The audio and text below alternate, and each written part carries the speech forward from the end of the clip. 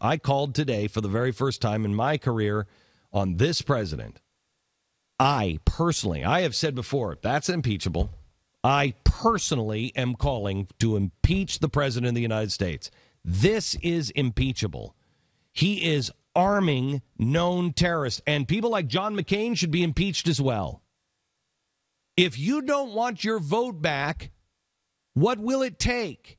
If you in Arizona said, I voted for John McCain because I thought John McCain was strong on defense and he was better than the other guy, whatever the deal is, if them saying we're going to arm Al Qaeda, and yes, we know that some of the arms are going to fall into the hands of Al Qaeda. And how do we know that? Because the president just had to waive the law saying that we are going to arm known terrorists and that that's against the law. So we have to erase that law and make an exception so we can ship arms to them.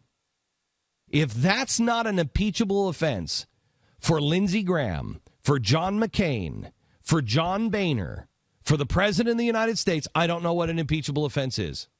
If that doesn't make you say these guys have to got to be thrown out of office, if that's not against everything, that's not politics. That's consistency. Well, you just named three of the four people you named were Republicans. It's not politics. Yeah, it's not politics. It's not politics. What do you stand for, America?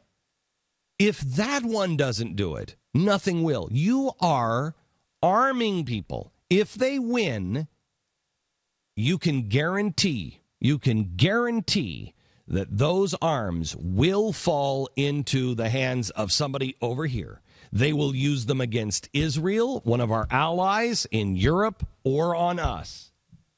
You are empowering them. This is not, hey, I disagree that we have knocked out Al Qaeda, which we did, and obviously that's true. Everything the president told you on the run up that we got Al Qaeda on the run, that's clearly not true now, is it? Because Al Qaeda is growing in Libya, Al Qaeda is growing in Egypt, Al Qaeda is growing, and we're arming them in Syria. So if if those things, you know, you could disagree with, this one, you're arming and and aiding the enemies of the United States of America.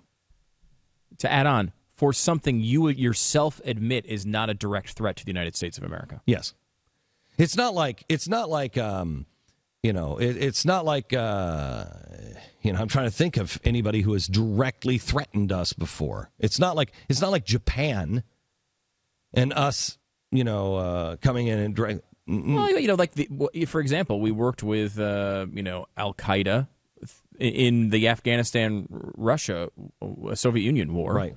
Uh, of course, before I think before this law existed, if I'm not mistaken. But, but also before they were Al Qaeda, they were the right. Mujahideen at the time, mm-hmm. and they formed into and before we that. and mm-hmm. before we had all of the lessons of the past to show us that doesn't yes. ever ever ever ever work. And before 9/11. Yeah, uh, let's, let's also put that. But just to say, like, you could maybe come up with some crazy scenario in which you would help uh, these these groups that are not good to help you against an enemy you, you deem a, a greater threat. There, there's no one who makes the case that Syria is a greater we threat to us than Al Qaeda. We did not get into bed with Hitler to defeat Japan. We did not do it.